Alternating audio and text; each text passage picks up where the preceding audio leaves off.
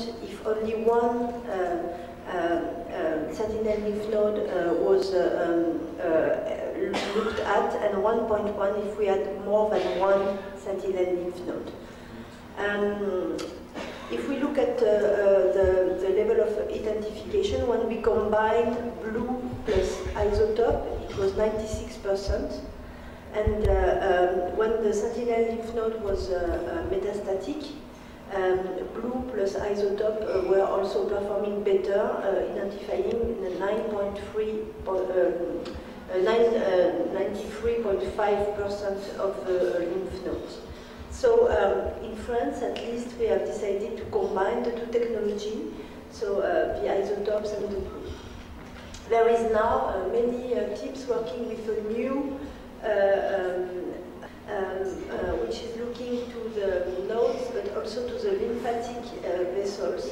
Uh, it's still um, trials still ongoing, but this may replace the isotope in the future. So um, well, something that kept, kept us uh, very busy with Sentinel lymph node was the uh, intraoperative assessment of the uh, Sentinel lymph node. so um, in France, uh, we have three techniques that are routinely performed. Frozen section with a risk of tissue loss, cytologic analysis with touch print, uh, a lower sensitivity, but uh, something that is very easy and do not require to have a, a, a cryomicrotome. And uh, uh, I have performed for more than 10 years molecular biology using a technology called OSNA.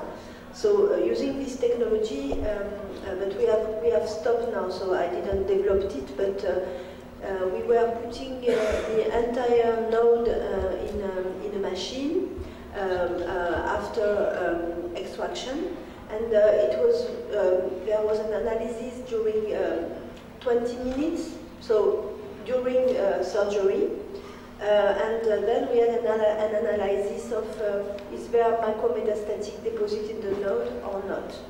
This OSNA technology um, was very famous for the surgeons because they they loved it because they think that they could replace pathologists easily. Uh, but in fact, we had, we had some problem with the technology because it was um, uh, looking at uh, CK19 and uh, um, uh, DNA and mRNA in the, in the node, but uh, we know that some tumors like the triple negative, they don't express cytokeratin 19, so we had a risk of, of false negative. And it was very expensive. Uh, the procedure was costing around 800 euro, and uh, it was not uh, reimbursed in our system. So now most of the people have abandoned this technology, so we don't use it anymore. So um, the sensitivity for frozen section for diagnosis of micro and macro metastasis is between 81 and 90 percent without significant difference between the two if we looked at micro or macro metastasis. It was better for OSNA, but as I said, high cost, time consuming and tissue loss. So what were the surgeons do doing when we did the OSNA technology? In fact, when they had surgery for breast cancer, they started with the nodes, so it was the first surgical procedure. During uh, um, the moment we were working, they were then going to the breast and having breast surgery. We were doing the uh, analysis of uh, the lymph node. Many teams in France still perform an intraoperative examination uh, either appositions, a touch print, or frozen section. Um, the rate of false negative uh, that we have, so between 9 and 20 percent, uh, implies a second surgical procedure for uh, axillary lymph node dissection. Um, the, the, the, rate of false negative varies from 9 to more than 20 percent. It's completely depending on uh, what, what are the indications of the sentinel lymph node procedure? If you are working with big tumors, like uh, T3, uh, you will have uh, more uh, positive sentinel lymph nodes, so more risk to have false negative. The technology that you use, of course, you have less false negative if you use frozen section. And the final examination, are you performing only an H&E or are you performing different levels? Are you performing immunohistochemistry?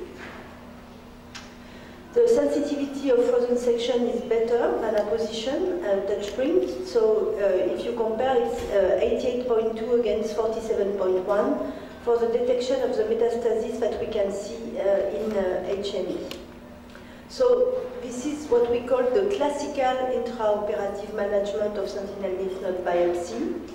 Uh, I, I, want to insist on something, it's that um, we don't use it anymore. I will, I will come to that in my, um, at the end of my presentation, but today we are not performing any longer uh, frozen section or touch print. The only thing we do when we receive a sentinel lymph node is to look at the node uh, macroscopically, uh, gross examination, and if the node looks metastatic, we do a frozen section. If the node looks okay, we don't do anything. Because I, I, will show you now, in fact, the surgeons, they don't do axillary lymph nodes anymore, even if we have micrometastasis. So if they don't do axillary lymph node, whatever the result is, we have no reason to look at sentinel lymph node during surgery. What is important, in my opinion, is what you do in paraffin. What is the final examination of your sentinel lymph node? So at final analysis, we, we will look at what, what is called the rate of false negative. So if you have a sentinel lymph node that was negative, and if you have the other uh, um, uh, nodes that are positive. So this means that you, you missed something uh, with the sentinel lymph node. So, of course, this, this, this data uh, uh, came from the time where we had um, axillary lymph node dissection after a sentinel lymph node. So this was in clinical trials. And the data that we had was that uh, we had 3% um, um, of uh, false negative uh, it was described in, uh, you see, a very long time ago. Um, and we had an isolated colonization of the third level of Berg, uh, what is called the skip metastasis. But you have to remind that uh, classical axillary detection only removes the first and the second level of Berg. For many people, skip metastasis uh, does not exist uh, you need to have first, the first node uh, to be colonized, and then you can have other nodes. So just to have third, third uh, level of Berg positive, isolated, for many anatomists, it's not possible. In France, we had uh, um, a very famous pathologist called Geneviève Contesso. Uh, she was working in Gustave Roussy, and she said, skip metastasis does not exist. It's only a matter of insufficiently exa examined nodes. So false negative in the sentinel lymph node are mainly caused by methodological issues. So here I, I, I am speaking about the false negative at, on paraffin embedded tissue, not, uh, not during surgery. This, um, this examination of the sentinel lymph node made, made, made us think about uh, how do we look at sentinel, uh, nodes uh, in, the, in routine. So if we have a metastatic node, we are not going to do uh, different levels and different cuts. You, you only take one, one, uh, one level and, and of your node. If you add a, a, a macroscopic normal um, node, more than 3 millimeter, you will cut different uh, slices of your node and you will look at the different slices. So you uh, totally include your, um, your node in paraffin.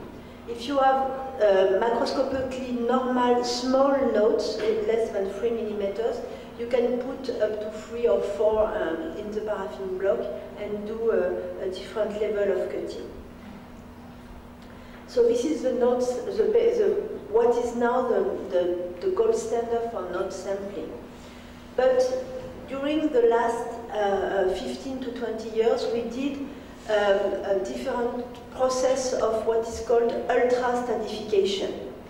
So with serial section, some people doing up to 20, 25 serial section of the node to, uh, to see if they can find at least one, uh, um, one micrometastatic um, uh, level, as you can see uh, on the bottom of, uh, of the slide. And, and you can see these small isolated tumor cells. And it's true that the more we search, the more we find. And um, if we do serial section, so not only one H&E se section, but serial section, you can, you can have a gain between 10 to 33 um, percent of uh, posi not positive, so not macro metastatic usually, but isolated tumor cells. And if you do immunohistochemistry, you have an extra gain of 10 to 15 percent of uh, uh, po uh, positivity.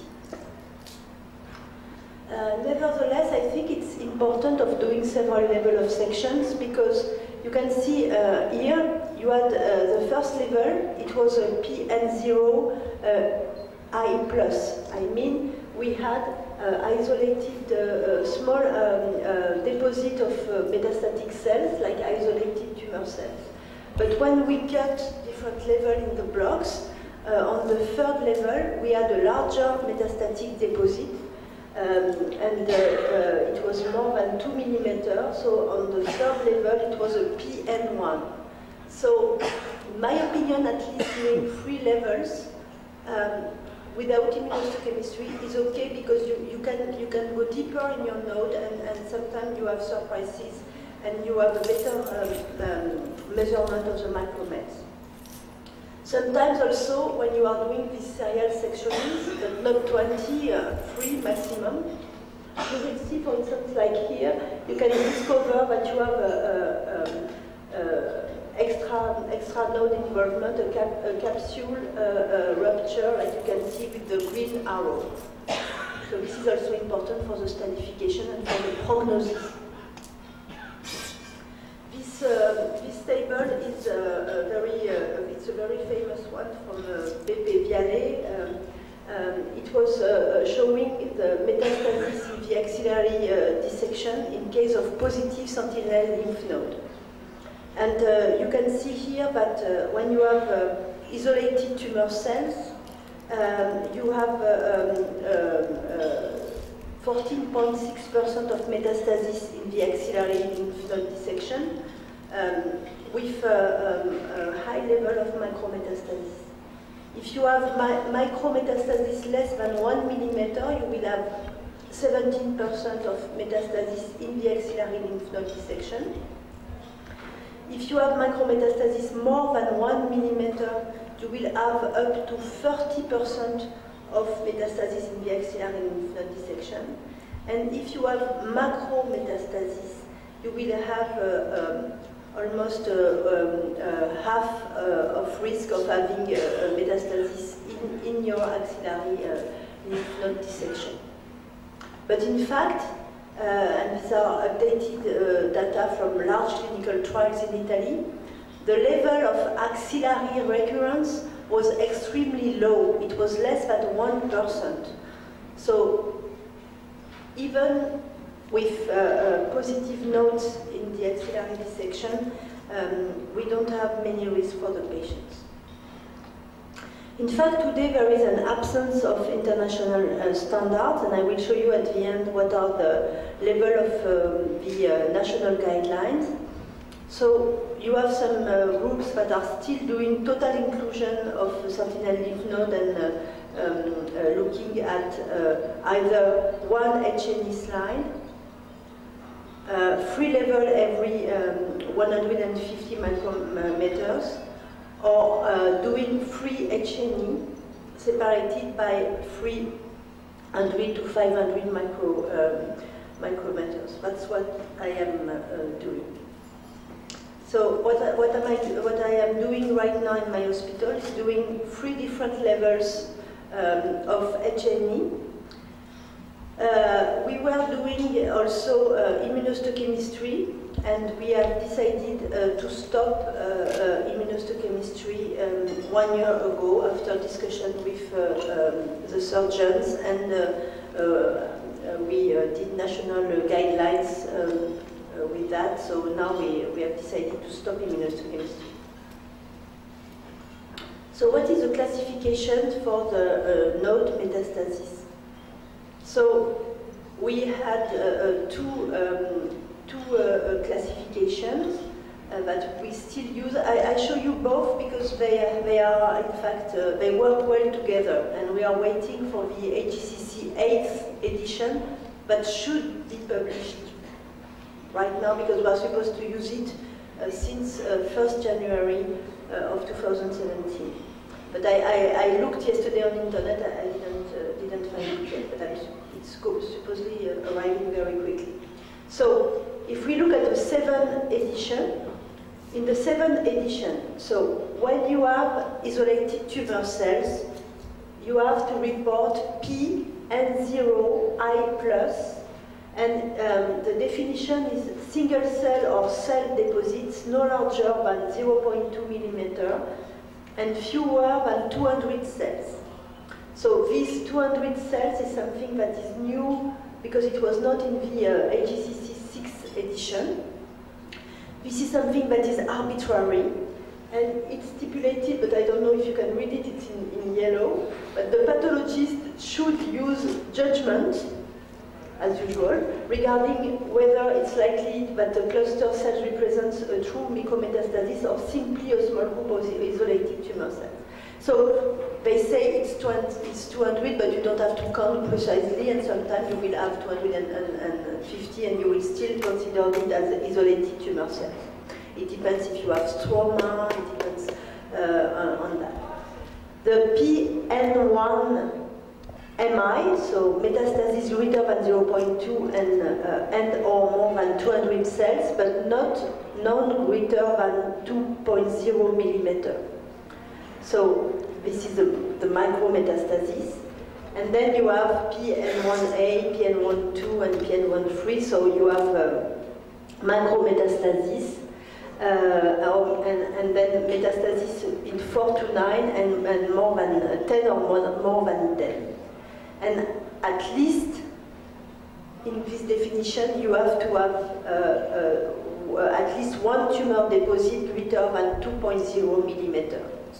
So this means that you can have a P2, PN2 with um, micrometastasis, if you have macro micrometastasis in, in five or six uh, uh lymph node, it will be a PN3.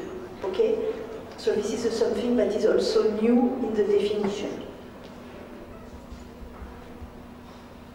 This is an example of a PN1 uh, um, um, uh, micrometastasis a sentinel, uh, micrometastasis in a sentinel lymph node.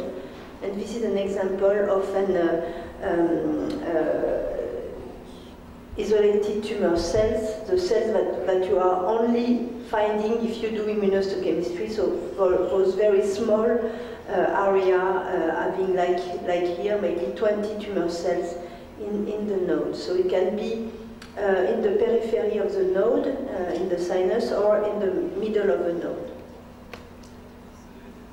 So what is the reproducibility of this uh, classification? In fact, the reproducibility is not very good. Uh, the kappa value for pathologist agreement is at, at best moderate to substantial uh, reproducibility. So these are data from uh, Cserni, is in, uh, in Europe, he's working a lot on sentinel lymph node.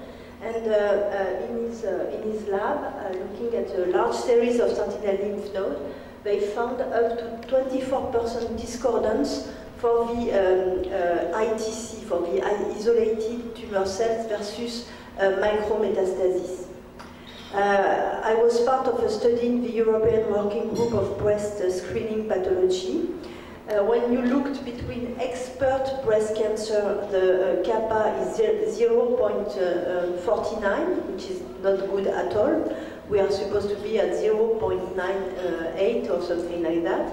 And if you look at community uh, hospital-based pathologists, it was not almost the same, not, not good, but almost the same, 0.47. So this work was performed uh, back 15 years ago at the beginning of those classification, but just to show you that it's, it's not very reproducible.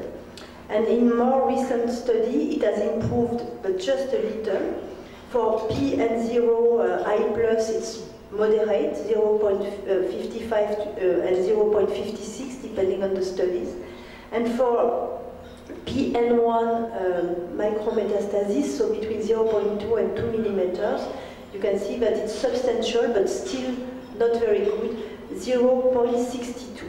And I will show you some examples that explain why we are not reproducible, because we have some difficulties in the PN staging depending on how do you interpret this uh, um, uh, criteria. First example. Here uh, on this slide, you have multiple foci of metastatic deposit.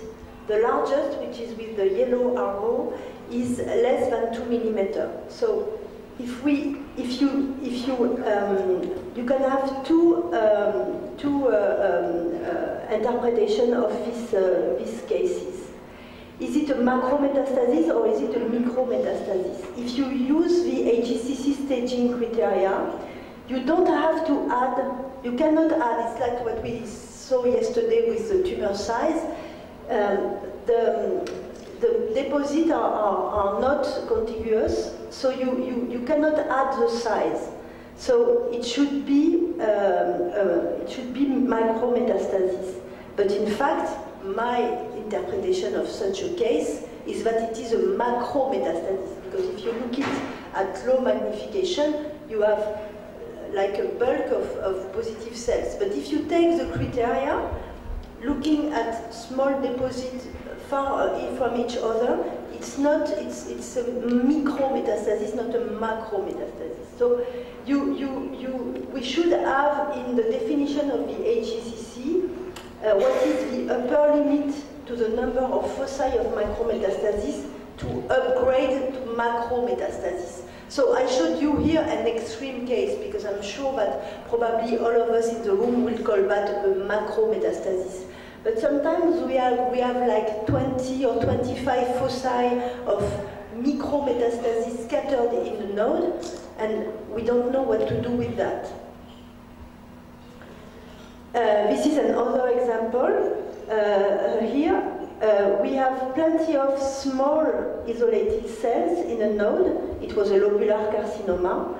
So here, is it a PN0MI, which should be, if you clearly follow the AJCC, or is it a PN1? I would, I would say it's a PN1, it's a macrometastasis. But if you follow the criteria, and this is the case in some studies where people know that they are doing reproducibility studies, so they are trying to apply the criteria. Uh, some people would, would call that uh, MI. So technically, each cluster or group of cells are not touching each other. Uh, so each cluster should be considered independent and measured independently. But in fact, we have a large bulk of uh, tumor in this node. Another uh, thing that we have sometimes is when we have uh, a tumor in the axillary fat. So sometimes it's easy because it's a nodule, so we know that those nodules, even if we don't find any uh, lymphoid structure, it's a, it's a metastatic deposit and, and it counts as a positive lymph node. But sometimes we have like that, we have, like on this picture, we have a low-grade invasive tumor in the axillary fat without adjacent residual and apparent lymphoid structure. So what is this? Is it a positive lymph node or is it carcinoma arising in axillary breast tissue? And here, do you have to stage it as a N, so a, a metastasis, uh, like a, a, a node metastasis, or as a T, as a primary breast tumor. This is some problem that we have sometimes in, in the uh, axillary uh, fat. Another, um, another uh, case where we can have uh, difficulties in uh, PN staging is that sometimes we have only vascular embolies at the periphery of the node. So, and we don't have anything in the node, only vascular embolies at the periphery. How do we stage that? Should this be classified as metastatic? So it could be a PN0 I plus or a PN1 uh, uh, micro, um, micrometastasis, depending on the maximum linear dimension. Or do we only uh, um, uh, say it's a, a lymphovascular invasion? Technically, this is lymphovascular invasion, it's obvious, uh, based on the uh, CAP guidelines. Uh, but uh, on the CAP guidelines, uh, capsular lymphovascular invasion is considered as metastatic carcinoma, and the largest dimension is measured as the size of, of the metastasis. But there is nothing in the AJCC classification for those um, LVI. So I will report that I have LVI, and I will measure it, and, and, and the measure will, for me, enter in the PN. So if I have more than 2 millimeters of lymphovascular invasion, this will be a, micro, uh, a macrometastasis, unless it will be a micrometastasis. But there is nothing in the 7 AJCC, and we hope that we will have something in the 8th AJCC. Another, uh, an, another case like here, where we have difficulties in PN staging is when, uh, when we have, uh, uh, for instance, a lobular carcinoma. You have uh, most of the uh, metastatic deposits that are outside the lymph node. They are extracapsular. And if you look at the immunohistochemistry on the right, you can see that if you look in the node, you only have one uh, positive cell. So it could. So how do you um, stage that? Do you stage only what you see in the node, so it will be uh, isolated tumor cells, or do you um, do you uh, um, uh, report it as larger metastatic deposit? Because in fact, uh, the extracapsular extension um, uh, is not something that you have inside the PN in the AJCC TNM system. You report it as a poor prognostic factor, but you, you don't measure it. And in this case, I think that we should have the, the possibility to measure uh, the maximum linear dimension of metastasis and, and to include it in the PN, because in fact it's where you have the majority of your involvement. And then the last, last case that can be also very tricky, is also with lobular carcinoma. You can see here uh, in this uh, um, metastatic lobular uh, uh pattern of invasion in the node, I only have uh, scattered cells, so only isolated cells. And here again, if I have um, if, if, if I have less than 200 cells, it will be isolated tumor cells. And if I have more than, two, than 200 uh, uh, tumor cells, it will be micrometastasis. If I follow the, the definition